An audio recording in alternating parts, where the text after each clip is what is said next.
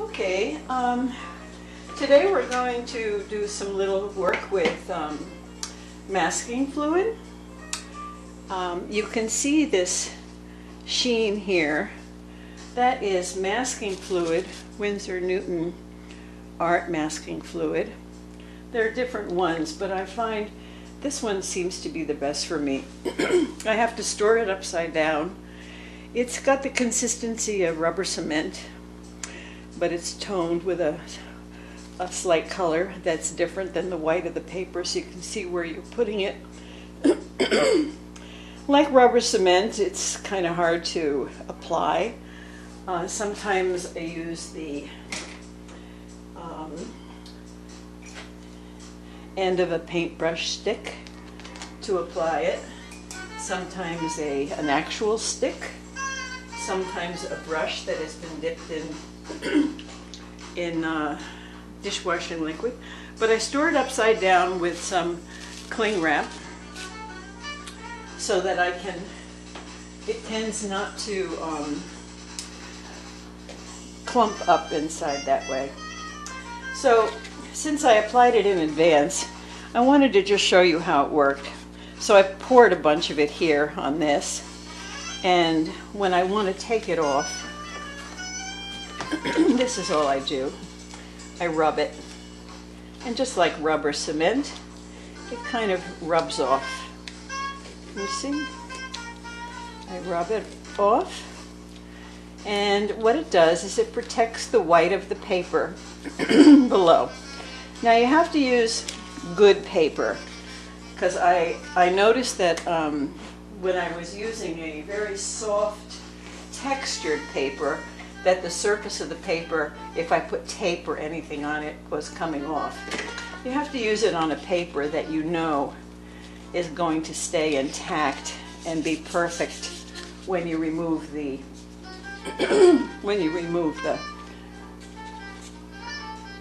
the uh, wet masking fluid. Now this paper is a Arches hot press um, smooth. but this one here is a Fabiano, uh, what they call not or not, which means not smooth and not rough. So it's an in, in between texture. It's Fabiano. I've cut it from a giant roll that I have, which makes it very hard to um, remove. I have to stretch it out on a big, big table. It's a very big roll. And now, what I want to do, I don't always use masking fluid to protect my whites, but here I'm going to be doing a number of waves with some splatters. And I want to have a, a, a, a sky that is very blended. so what I'm going to do, I put some here, I put this color I've chosen today. It's called Rose D'Or. That means rose outside. Is that what that is? No, that's Potter's Pink. Potter's Pink by Winsor Newton. And this one here is Wisteria by Daniel Smith. Um, this one is by Holbein. It's called Horizon Blue. Horizon Blue. This was the Wisteria. and in this one, I put two clumps of paint. I put the Cerulean Blue by Daniel Smith and Payne's Blue Gray. So it's a bluish Payne's Gray, also by Daniel Smith. Daniel Smith's sort of my go-to color. Uh, I, I, really like their paints and um, I like the consistency of them and the intensity of them. This is Ultramarine Violet, also by Payne's Gray. Now, if you really want to have a good sense of the possible colors that you might get from a manufacturer. You can order their color dots. Um, Daniel Smith puts out about 250 color dots. And they're actual dots of paint. And, and you can buy them for under $20 usually for the four pages of color dots. And I sometimes have gone on trips with nothing but my pages of color dots to use for a week to paint um, because there's a fair amount of paint in each dot. So it's a really great thing to do, and then you get to see which colors you really like and how they behave because some are transparent, some are granulating. I have um, written G next to um, some of them for granulating. Uh, some of them are opaque.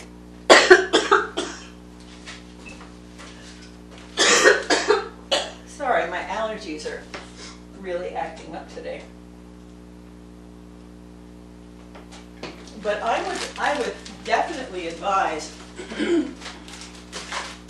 going to the Daniel Smith site or any other manufacturer that you really like and ordering their color dots. Now what I'm going to do is I'm going to mix up these colors. what I've done is I've just sprayed water in them. I'm going to mix up some colors.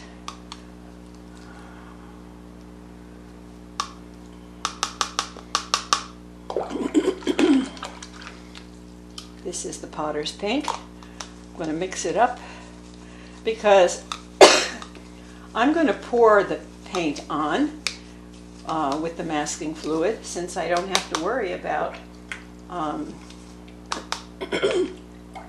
staying within the lines because I've protected the white areas um, with the masking fluid. This is the Horizon Blue by Holbein. So you can see I already have three manufacturers here that I use. this is the combination of both cerulean blue and Payne's gray blue hue. I wanted a more I wanted it even more blue than I'm going to add a little bit more from my spray bottle. I want that. I can feel that it's not quite dissolving It's there. So it's a very bluish um, Payne's gray. and this one is the ultramarine violet. Um, I am not liking that. I am not liking that color the way it's coming out there relative to the other colors. So what I'm going to do is get some, I always have my pliers handy um, because these tubes do close up really quickly. I'm going to put some Carbazole violet in there. so those are the colors I'm going to play with. I wanted a dark violet. but That ultramarine violet didn't give me a dark enough color. So I'm adding some additional color. And I managed to get that all over my hands. Just give me a minute while I wipe it off. Now, I don't, I don't often use these pads, but when I do use them, I reuse them and reuse them and reuse them. This is nothing more than a puppy piddle pad um, since I have a, a, whole lot of puppies right now. Um, I've got a box of pads. but I'll use that over and over and over again. It might last me six months or more, one pad, because I'll let it dry and I can just keep pouring more stuff on it. But I figured for, for you guys today, I'd, um, I'd celebrate by making a clean pack. Oh, there, that's better. You see, I wanted a darker violet. Uh, that would work for me. Now, we're just going to do the first stage of this today because then we have to let it dry. But that is, um, I'm going to take a big brush, and this water is already very, very colored. A little bit different. Big brush. And essentially just wet this whole paper. It's all taped down to the board. And sorry for the little springtime allergies already.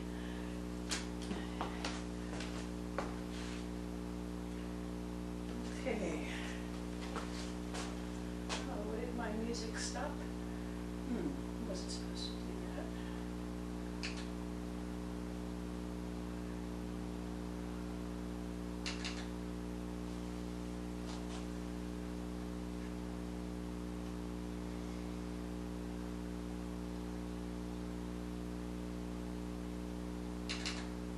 Yeah, let's see if that goes.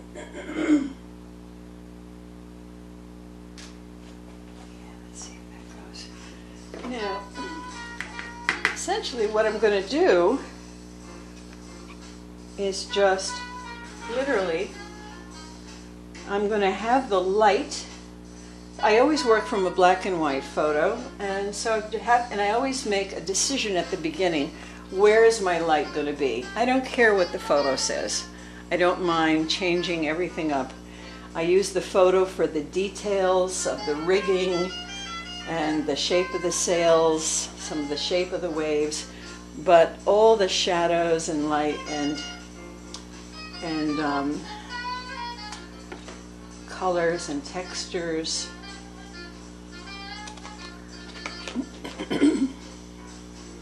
Let's see how these colors work together.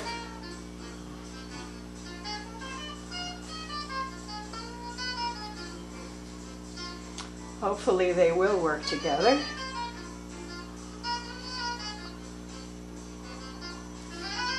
I want more of this light wisteria over here. Um,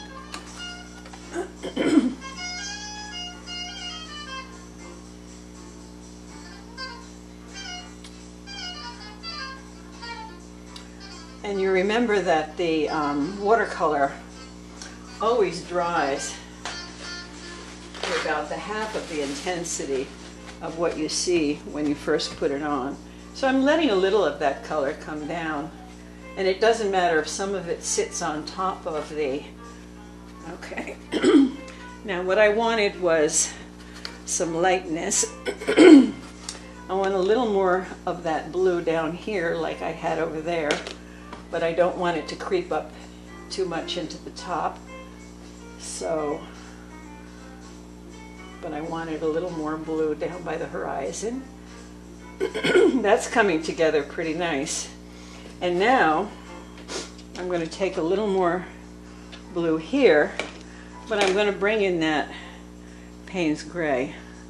Um, it's going to be, uh, it's very dark and dramatic. Hopefully it's not too dark and too dramatic, but it, while it's still very wet, if I want to, need to, I can spray it and but I think it's coming along rather well. So far, so good. but the problem that I have, I'm seeing, is that I didn't adequately mix the paint. So I'm going to spray some of that down because there's there were a couple of clumps of paint there. That's okay.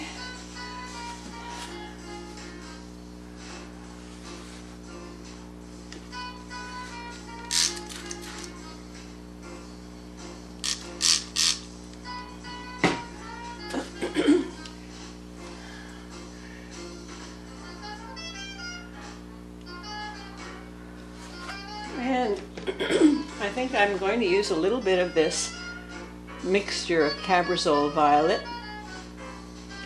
in that corner over there. With the Payne's Gray and Blue. Um, and see how that is. Like I say, I can always spray it. I can use my more fine atomizer to get some of that.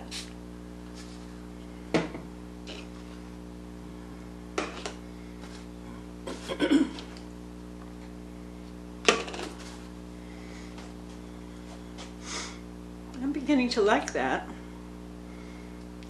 So this is just um, for this morning.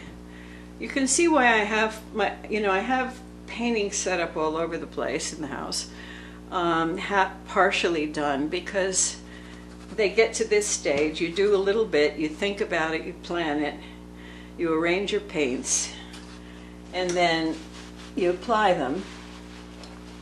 And I don't mind that some of that color has come down here into the waves and into the boat. And I'll take some of that away from the edge.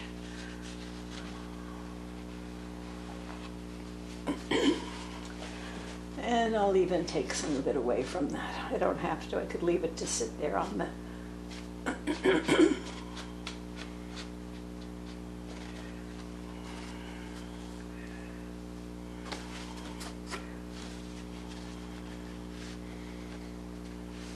Just don't want it to seep back in or create a blossom on the edge from the wetness.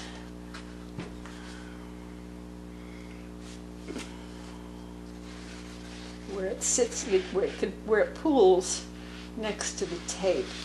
and uh, if it, if it, if you leave it there, it can create a blossom back into the paint, which would be, unless you want that blossom, isn't, you need to try to avoid it. so I have, I want to have some color there that doesn't look completely, some flecks of something. So I sprayed it with my atomizer. Here I have something too, I don't like that. You know, it's hard to get the paint to, to be 100% mixed and clear.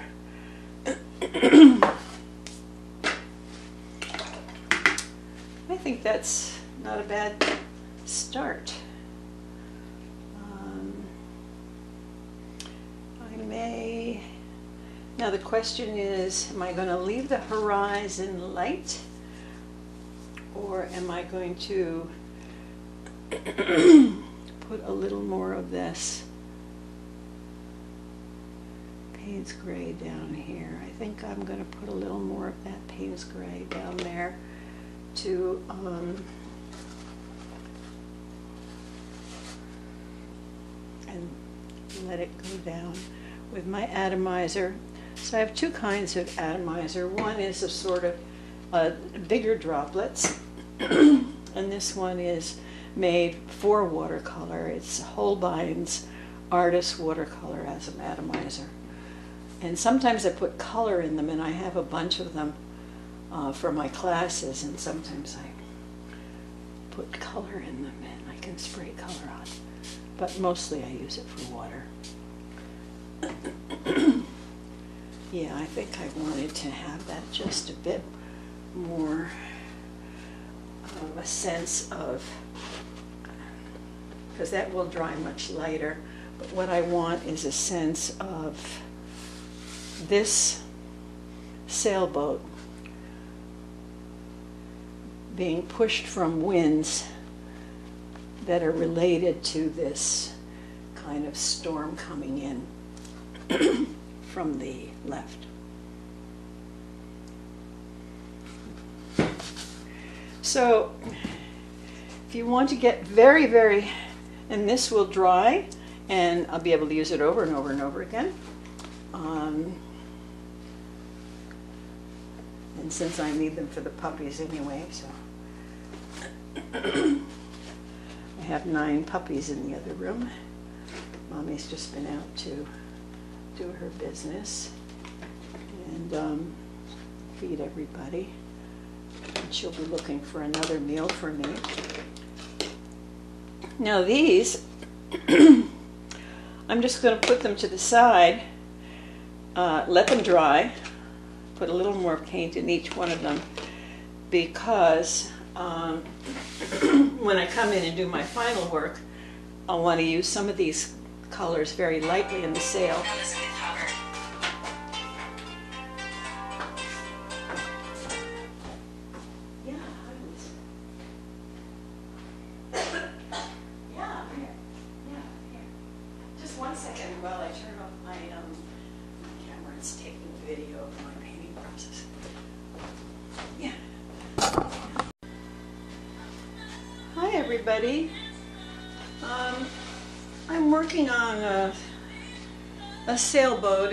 Not the same as the one in the photo. Let me see if I can get the photo in there. Yeah, just so you can take a look. But the sails are in the same position. Uh, it's a bigger boat and it's got uh, bigger waves and it's a little more sunk into the water and um, it's got more people on it. But I just wanted to indicate to you the general concept um, of the sails because I, I do like to try to get the um, sails correct and the mast and the ratio of um, mast to boat correct. So, um, you had seen earlier the washes that I did, and I still have a little bit of those paint colors uh, in my containers here. Um, I have taken, I've, you know, you just wet it and it reconstitutes. And I had taken some of this colors of the wisteria and done some washes on the sails to kind of, and also on some of the areas of the waves. And that was, I, I just did that a little bit on the sails, like this, to indicate some reflection from the surrounding sky. But leaving the sails predominantly white. Now, you might remember that all this area of waves and the sails was covered with masking fluid. So I removed the masking fluid in the way that I talked to you about. And, um, and then I used the, the blue a little bit in the sail and the wisteria to blend in with this part of the sky in terms of harmonizing with it and also indicating that the colors of the sky are somewhat um, reflected in the waves and the sails. Now the thing that I want to do, when I get my glasses,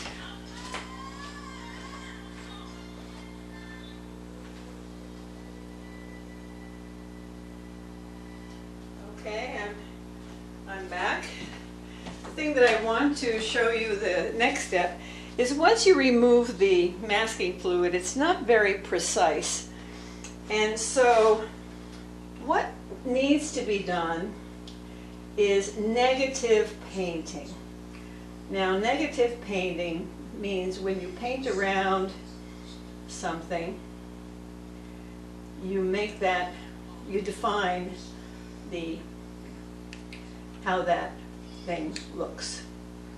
So for example, if I were to do a little bit of negative painting around this little bit of wave, what I did already when the masking fluid was on there is I remember I poured the color over it, the dark blue. But now, what I want to do is, now that that, that now that I've rubbed the masking fluid off, I want to create, define how some of the splashes look underneath, you know, showing that there's a shadow side under the wave. And this negative painting, instead of it just being a blob, of course these waves are not blobs, I'm taking a mixture of blue and black, any dark blue and any black. So in my case I'm using some phthalo blue right now. and some ivory black.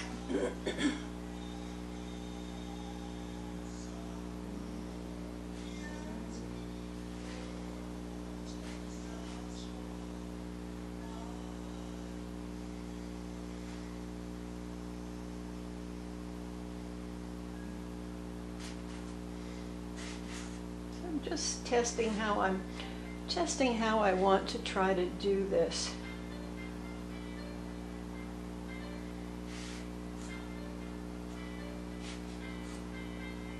Of course, as we go into the um, wave area, the blue is not as dark as it is underneath the, the white wave, and it becomes a lighter blue. And so I can define that with a little bit of cobalt blue, which is a lighter, sort of medium color blue.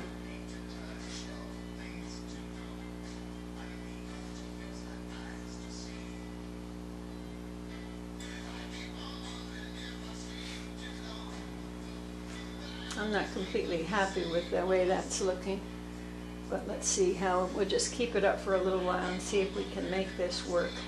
And I'm using that cobalt blue in a couple of other areas to begin to define.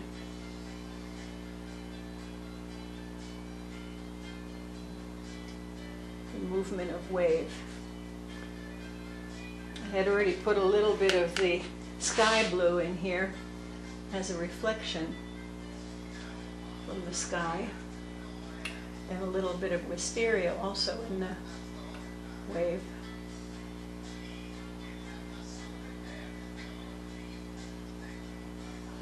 But I want to try to see if I can get some movement in here that begins to make this wave look like a wave.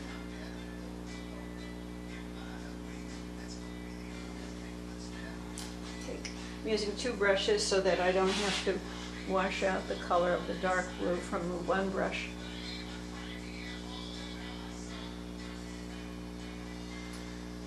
The other brush is, um, is the lighter. So to take some of the lighter blue and blend that darker blue in. And there's already a blue in there that was between the masking fluid. So it's starting to look a little bit more. I'm going to take the light blue and try to define some shadow behind wave next to the sail because it's kind of the white on the white is not showing.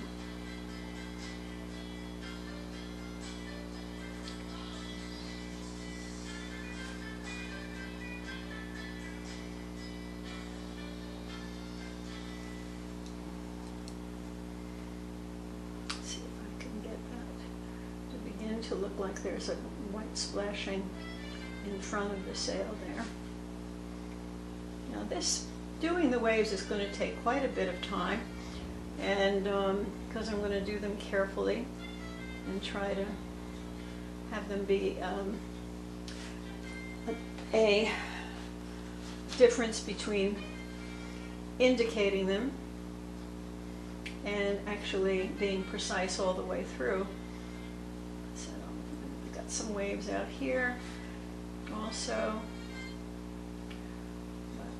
Sometimes I put in a little more masking fluid and I want to cover up some of that later because it just looks like a great big blob. But at least it's, it's easier to um, differentiate some of that and make it a little bit less um, of a blob and begin to cover up some of that white. That's easier than trying to salvage white later. Some people seem very good at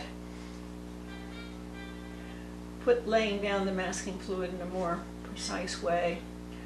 I've tried all different techniques for doing that and have never been successful at getting much more than these blobs. But then working around them with uh, negative painting. So, and then what I want to do, so this is the beginning of how um, I'm going to try to create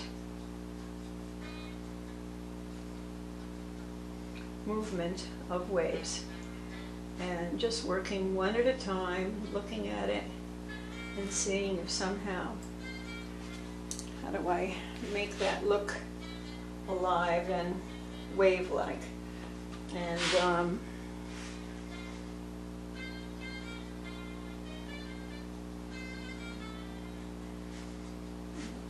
often a little bit of shadow. Don't forget these colors always dry a bit lighter. So that's the beginning of that. And I'm just, I'm showing you the technique because I'm obviously going to have to do a fair amount of this offline and then come back to you with it. But I want to do enough so that you can see how it's done. But basically these waves are very different and um, they have a lot of little edges splashing out and splattering out. And so there's a need to get a sense of the movement. and then within a wave, where it's really curving at the base of it, you will see some shadow. So there's a lighter blue, a little darker blue, and then bright white. So this is the beginning of that. And what I want to do is show you now how to make some splatters. Um, I'm going to take some of this um, yeah, I'm going to take some of this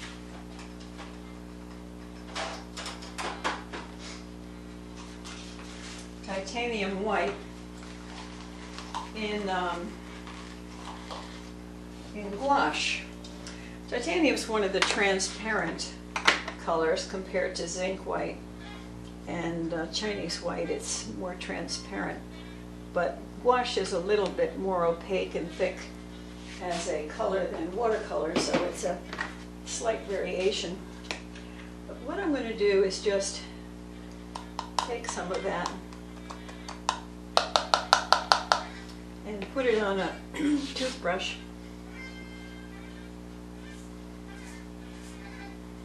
And see if I can get some splashes. You see? See that? I hope you can see that. Okay, so you take a toothbrush and, and dip it in your paint. You don't want it too wet because you don't want to get a blob. But then point it at where you're going and get some splashes. Look at that. And there you have the beginning of the process. Normally I do the splashes at the very end after I finish all the waves, but I wanted to show you that just so you know how that is done.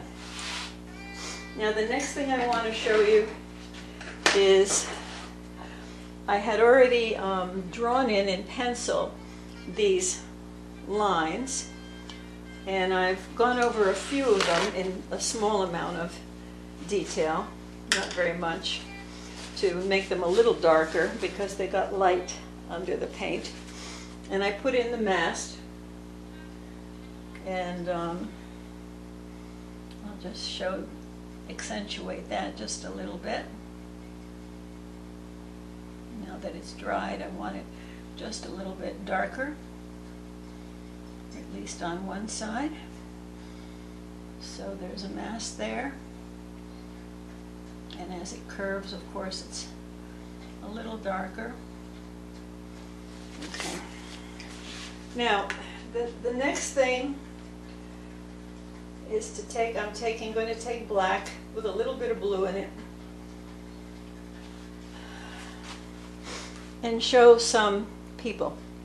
Because the boat is tipping this way, and in all the racing photographs that I have, and I have quite a lot of, accumulated quite a lot of racing photographs, and watch some races, there's always um, the people lined up on the side against the wind pulling the sail to balance the boat. And sometimes they even hang over the side a little bit, but that's, I'm not going to do that because that would almost be a um, hard for people to understand and what's going on there. And I don't want it to look scary. I don't like my paintings to look scary unless there's some reason to have them look scary. But this is very much a sailing vessel in a race, and um, the people are in it, are in it in quite good control. And so here, you know, with people, the main thing is there's a little head, and then there's shoulders. Shoulders, And sometimes there might be, this one's going to maybe face the other way a little bit. Um, but this one here is down here and shoulders. Okay? So,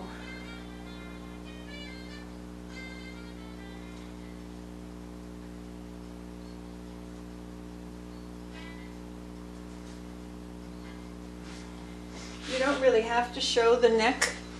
People more or less see it in their own mind's eye. So, but just indicate the people. There'll be another one here, another one here.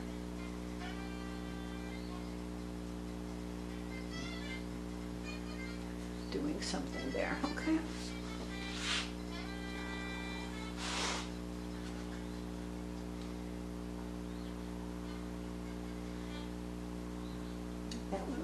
Different. But the others are mostly all leaning.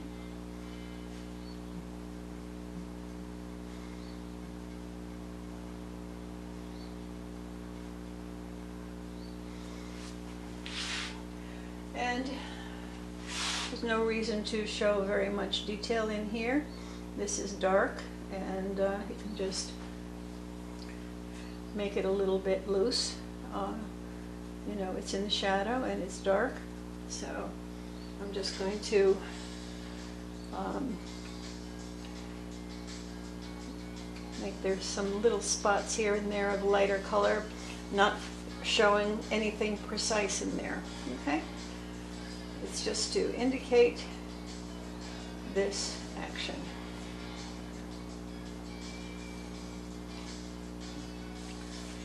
Might even put um, the indication of maybe a hat on one, maybe a hat on another one, just to play with it, just to make it a little bit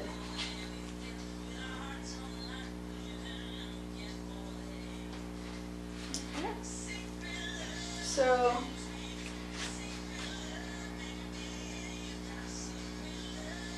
Now here, this is a really nice wave here. Um, this is coming up. And there'll be all this, the most important waves to try to define are the ones that are against the dark of the boat. Because eye will be drawn to the area of contrast between the light and the dark.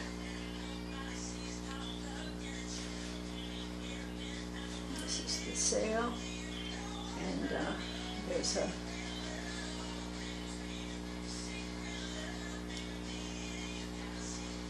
some sky behind there.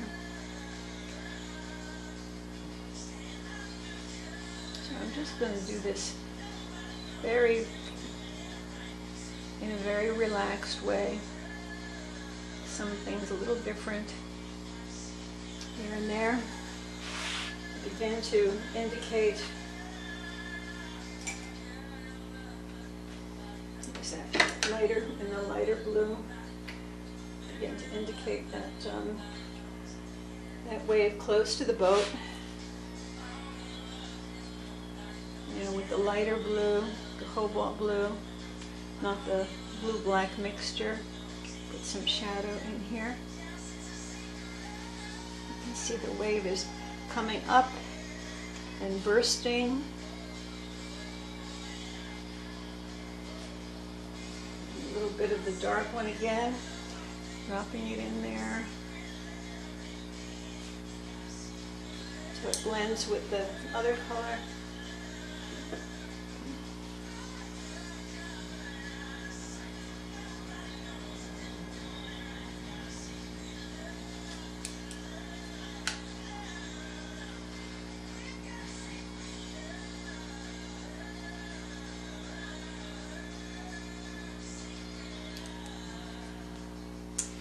And here's a bit more.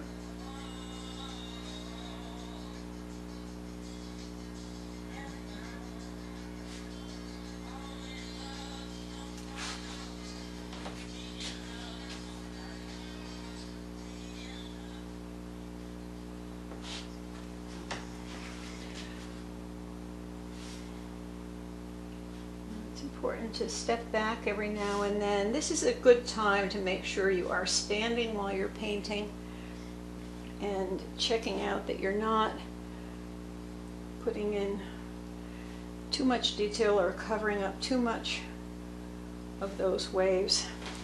So um, I'm going to take a little more, I'm going to take a little bit of the very dark um, Carbazole violet and mix a little bit of that with the black because I want to make sure that this area in here really sinks in as deep shadow. Okay, because I see it's drying a little bit too light. And so by adding the very dark violet, Carbazole violet, to the ivory black, and glazing over some of this. This is going to sink in here, which is what I'm wanting. Because that is sort of a deep space in there. Um, and it gives you, I want to give the feeling that there's some different brush strokes, some scrumbling stroke to indicate that there's stuff going on in there. Maybe there are some tools or there's some um, different parts of the boat that are key for navigation, rudder control or whatever. And so I just want to show that it's not flat, empty space by creating a little bit of, and this is a railing for safety. But there are bodies and feet and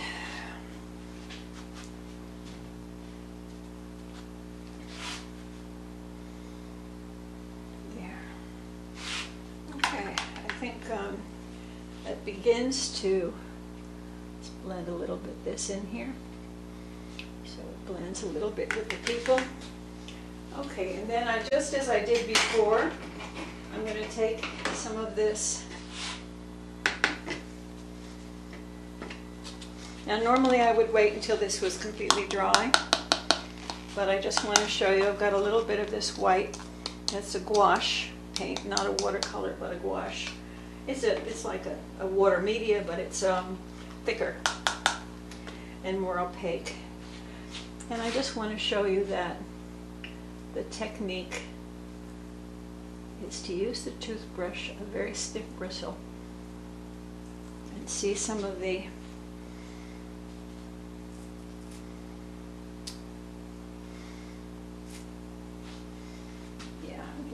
more. There. I think you can see that. Let me just check. Yeah. Let's see if I can move it a little bit.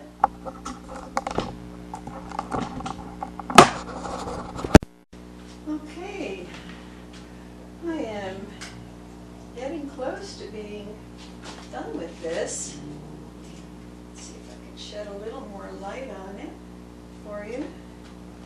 And um,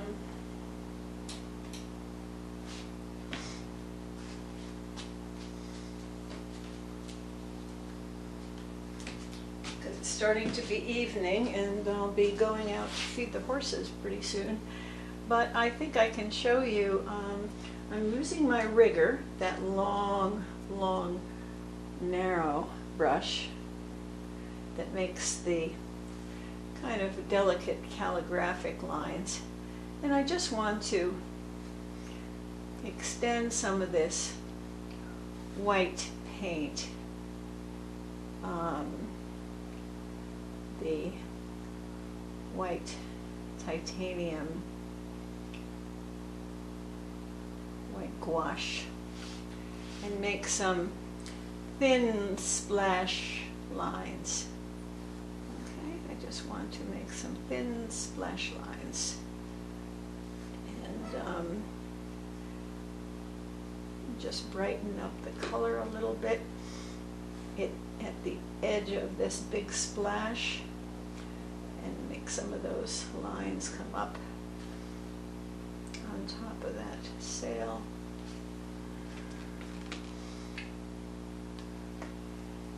I decided to go with the titanium white because it's a transparent white, even though I'm using a gouache, so it won't look too opaque and kind of like, when you do opaque, it doesn't glow, so it makes like a little bit like dead space. Uh, so I didn't want to do, this is kind of a, a balance in terms of adding some white, but not having it go all the way to a, an opaque zinc white. Um, Now, I put a little bit of um, um, turquoise, teal, however you want to call it, um, in some of this, some of these waves, because sometimes where the light shows through, it has that wonderful turquoise shade. But I don't want to overdo it, but I just have it now and then. So I wanted to show you that. Just makes the wave pop a little bit. I already had some of the wisteria in here and some cobalt blue.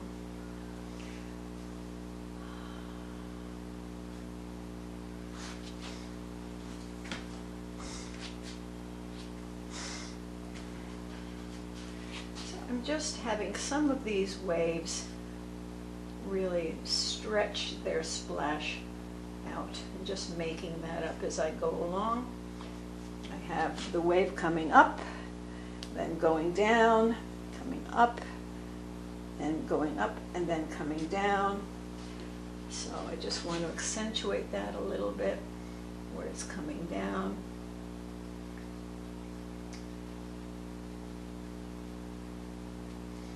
and where it's coming up so that you get a sense of the motion of the wave. But it's not precise. I'm not a realist painter. I would say I'm just trying to create an impression without making it too much of a sloppy mess. Let's see, I think I might have some. I've got the wheel indicated there with a little bit of white. You can see the um, there's some rope indicated and like a, a weather thing and some flags, some flags indicated. Uh, there's some numbers indicated um, to identify the boat, but not precisely, just roughly indicated. And um, because this isn't a commission, for somebody, a boat owner. Here's some writing here also indicated.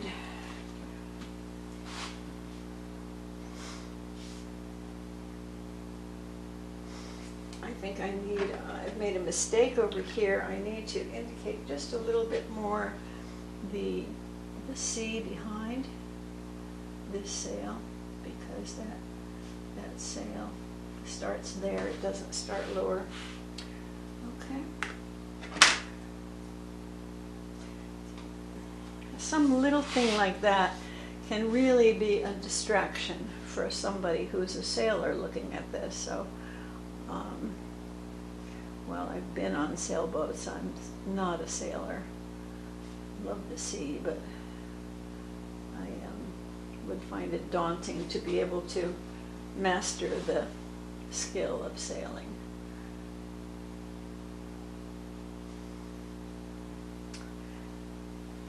Okay, so, and then here it kind of levels out. I've got some scrubbling here to indicate where it bubbles around a bit. And um, there's a little bit of indication of more waves coming in. I think that's pretty much it for the um, using the rigger. And I'm going to do more of the splashing that I talked to you about. I'll put a little more water in this white, mix it up a little bit. Not too much because I don't want it too diluted. In order to show, it has to be fairly thick, but yet it can't be clumped. It has to be dissolved in the water. Um, so for some things, I like to use these little plastic containers, which I get at the local market. I bought a bunch of them. And, um, and what's nice about them is that once, once, even though they're wet, you can stack them and it, it, they don't touch each other, so they don't make a mess. And they can dry and you can just wet, wet them and reconstitute the. So here I am with the toothbrush, stiff bristled one. Um, here it's important to have that wave really shown. Um, a lot of splashing at the edge of that one. This one coming up again, lots of splashing. And I want some splashing over here at that one, that one in the back. There's one back there. Um, down here a little bit. There. That will mask a little bit the back of that sailboat and so that one doesn't get preoccupied with the, the detail. I think that's getting pretty close to enough. I don't want to overdo it. I may be overdoing it. So that's it. This is a finished piece. Let me see if I can pull it in so that you can see it well enough. Let's see, I'll have to get behind the camera and see if you can see it pretty well. But this is basically a finished piece. I hope you enjoyed it. You're welcome to come and see more of my videos. I'm posting them not only on Facebook for the quarantine period. I'm in week five of my my isolation, although for most people it's work three, week three or four. I started a little early. And um,